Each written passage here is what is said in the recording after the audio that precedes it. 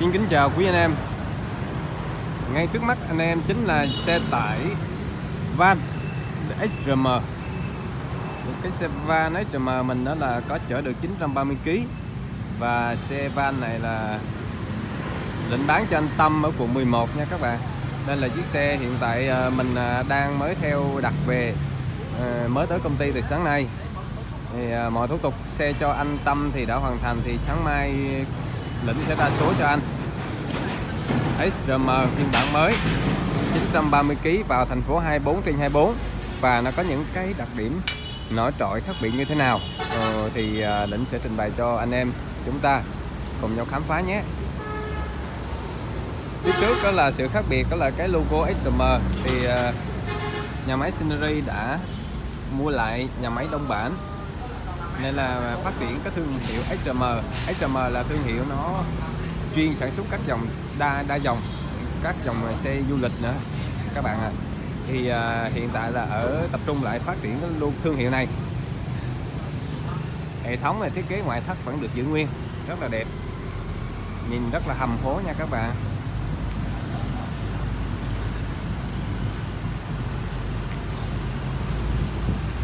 Xe chúng ta là mang à, động cơ là 1.5 là tiêu chuẩn khí thải Euro 4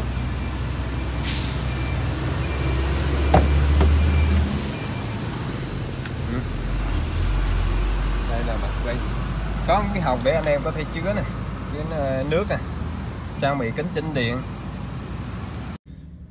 Trọng lĩnh đang ngồi trong cabin xe HrM 930kg Phiên bản mới nhất của chúng ta Xe này đời 2020 và tất cả các lô xe sau xe này sẽ là đời 2021 nha các bạn ơi, anh em ơi.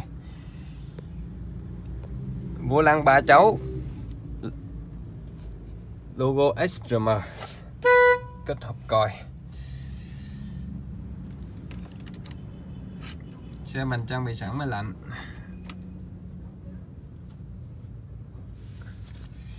Đây là màn hình điều khiển của xe đấy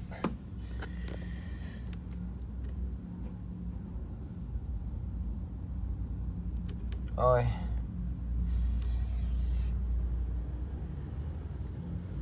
Phía trên chúng ta có che nắng.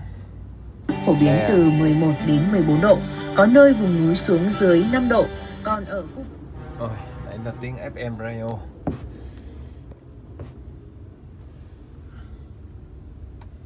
Cái loại này mình đi được hai người nha các bạn. Thì rất là may mắn để coi. Cái loại mới nó có những cái này tính năng là có màn hình. Để mình xem thử. Màn hình cảm ứng các bạn ơi. Rất là sang trọng nha tiện lợi luôn. Anh em chúng ta cảm ứng luôn. Màn hình đây có FM radio nè.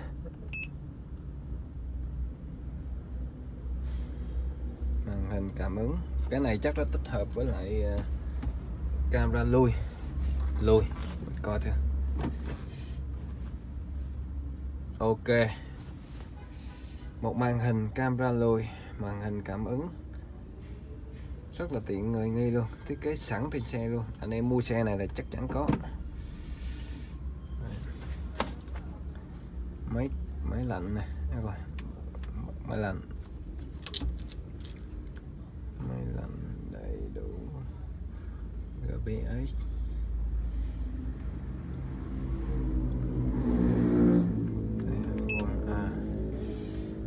ta có nhận Bluetooth, radio, nghe nhạc, xem video. Nếu chúng ta cắm USB vào thì chúng ta có thể xem video nha. Hình ảnh đầy đủ, rất là tiện nghi luôn Xem video trên này luôn. Mở nhạc chúng ta kết nối Bluetooth để nghe nhạc. Rất là tiện lợi luôn Rất là tiện lợi cho chúng ta. Đây. Hay, cực kỳ hay. Nhưng mình nổ xe cho nên nghe tiếng động cơ.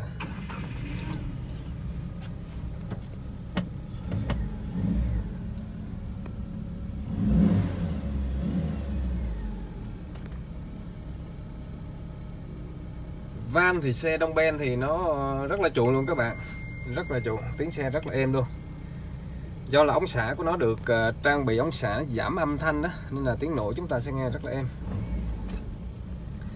Và rất chống ồn. Đấy, xe mình trang bị rất là đầy đủ rất là tiện nghi luôn. Kính chính điện đầy đủ ấy. Xe nào cũng vậy. Gương này thì chúng ta chỉnh bằng tay thôi. Chỉnh bằng tay nhưng mà cái quan trọng nhất vẫn là cái phía sau chúng ta, sau lưng của lĩnh. Năm số tiếng và một số lùi.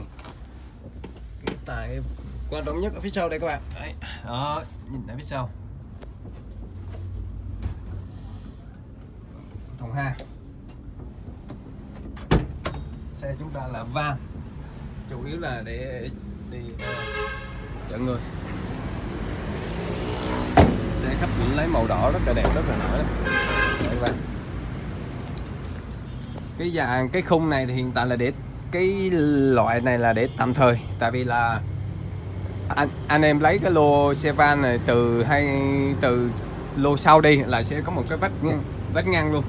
Vách ngang rất là kín luôn để cho anh em cái hàng riêng và nó thất riêng luôn. Cái chiều dài của cái thùng hàng chúng ta là 2m08 chiều ngang là được 1m46 và chiều cao là được là 1m3 Đấy. đó là kích thước của cái thùng hàng phía sau của chúng ta. Mở được cửa sau, cửa hông, bên này chúng ta có thể mở ra nữa. Đỉnh sẽ làm một cái vách ngăn, thì xe này hiện tại là xe chưa cung cấp vài bữa nữa, nhà máy sẽ gỡ một cái vách ngăn. Để phải ngăn lại nông nội thất cabin riêng, nội thất riêng và cái phần chở hàng sau riêng. Em mình mở cửa sau này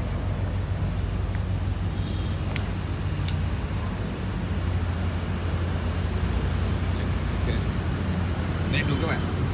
Đây camera lùi nè. Camera.